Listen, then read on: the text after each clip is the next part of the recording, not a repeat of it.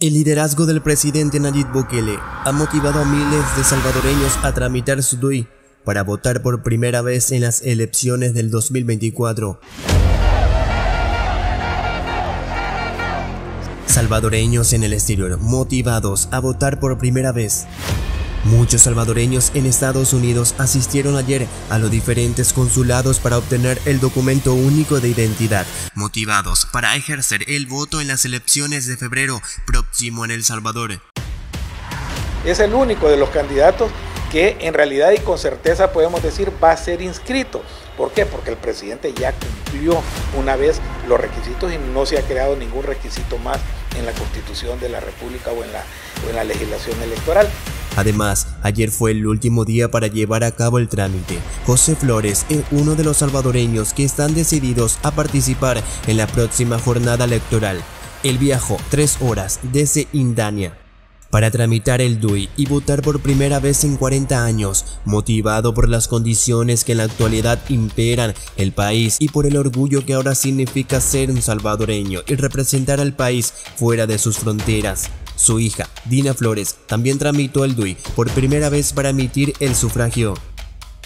En 48 años nunca había votado, es mi primera vez y la transformación del país se ha dado por el presidente Bukele y es algo que tenemos que apoyar. Igual, mi hija va a votar por primera vez por los mismos motivos, señaló Flores.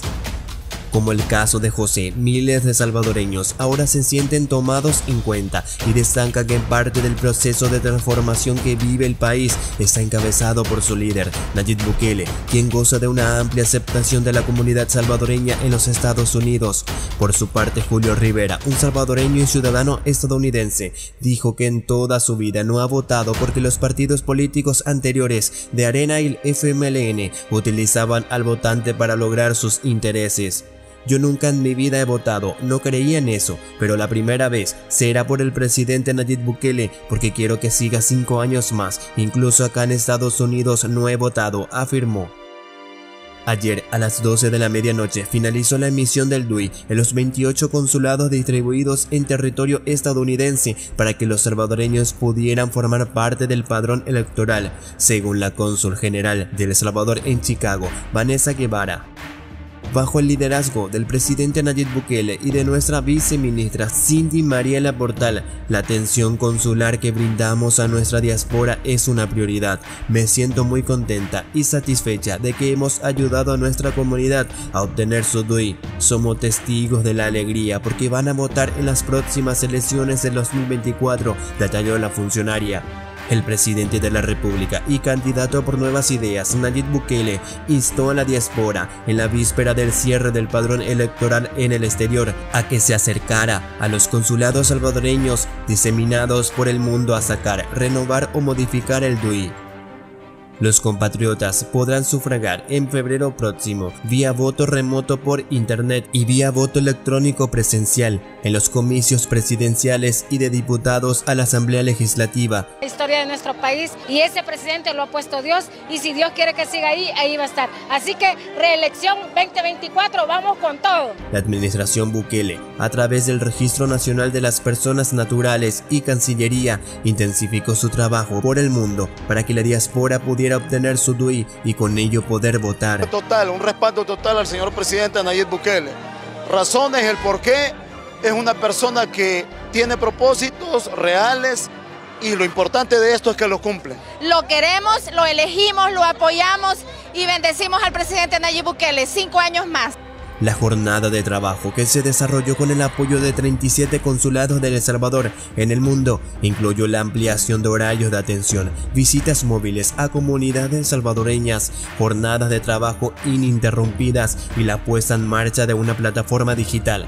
Los gobiernos de Arena y el FMLN se opusieron a que los compatriotas en el extranjero ejercieran sus derechos democráticos, por lo que nunca les aprobaron el derecho a voto pasivo y activo.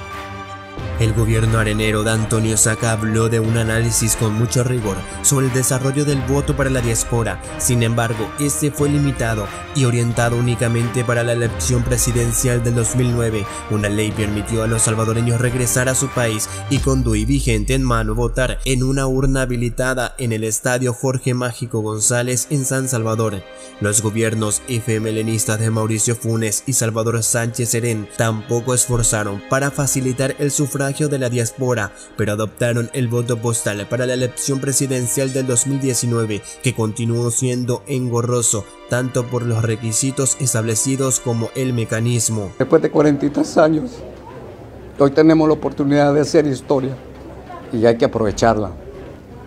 Para mí es un orgullo y un honor votar para, en mi país, en mi país, El Salvador, que tanto extraño.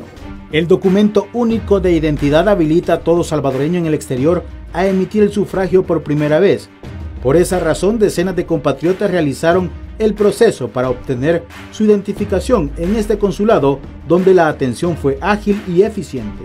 Pues me siento dichoso poder votar porque cosa que nunca se había hecho en este país, poder votar, hoy sí se va a cumplir. Me siento feliz por eso porque voy a poder dar mi voto.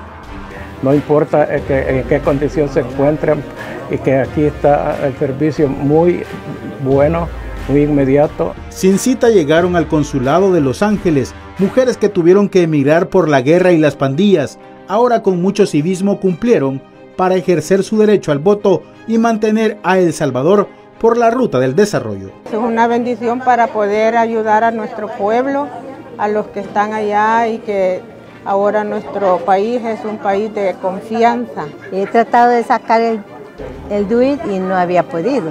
Entonces tengo la oportunidad para poder ejercer mi voto para Bukele. La diáspora no dio ni un paso atrás para asistir masivamente a los consulados, ya que El Salvador también es de ellos y no desean que el país vuelva a la época de Arena y del FMLN que dejaron en la miseria a su pueblo. Nosotros únicamente nos estamos postulando como candidatos a las futuras elecciones y será el pueblo salvadoreño el que decida si quiere que haya reelección o si no quiere que haya reelección. Pero es algo que los salvadoreños apoyan tras el trabajo realizado en salud, educación, seguridad y obras públicas, por lo que el apoyo se dejó sentir con pancartas, banderas y hasta alzando la voz. Todos estamos esperando como salvadoreños la reelección de nuestro presidente y es democrática, porque es el pueblo en la urna quien va a decidir y todos decidimos reelección de nuestro presidente Nayib Bukele. Creo que el país no puede recibir un mejor regalo que ese. ¿Verdad? Tenemos un nuevo país y es el país que nos ha regalado el presidente. Si mañana fueran las elecciones, de aquí mismo me voy para las votaciones. A ver,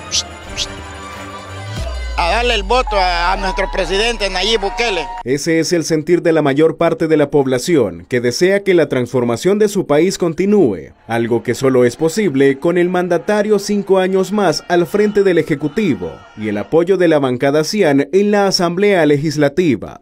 Invito a seguir viendo nuestros contenidos de Alfa Producciones, dale like, suscríbete y activar la campanita para que te llegue la notificación de un nuevo video.